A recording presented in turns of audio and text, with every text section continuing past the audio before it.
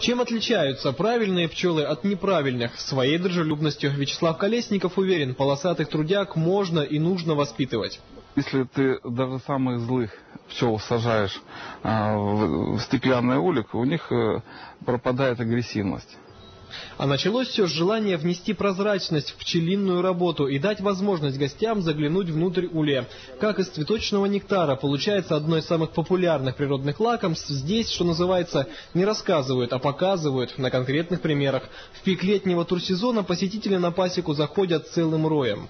Иногда в день мы можем принимать до 500 гостей э, все мои родственники, племянницы, племянники, сыновья и даже внук все встречаются, занимаются, хороводимся, пытаемся объяснить, показать.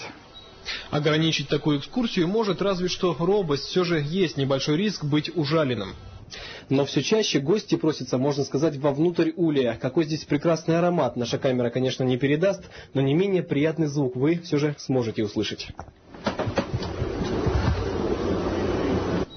Говорят, что эти пчелиные вибрации схожи с вибрациями человеческого тела и латают бреши в нашем биополе. А запахи цветочного нектара, прополиса и свежего меда своего рода ароматерапия. Говорят, сон на ульях укрепляет иммунитет, лечит нервные расстройства и еще целый ряд болезней. Но попробовать это стоит просто для хорошего настроения. Спалось очень крепко. Мне нравится то, что пчелки, они гудят, и вот этот гул, этот такой шум, он приятный, ненавязчивый, он тебя так обволакивает. И, наверное, самое главное для туристов то, что платить за все это не нужно. Продаются только мед и другие пчелиные лакомства. Впрочем, познакомившись с пчелами так близко, уйти с пустыми руками будет сложно. Николай Потешкин, Дмитрий Саранцев, Вести, Алтай.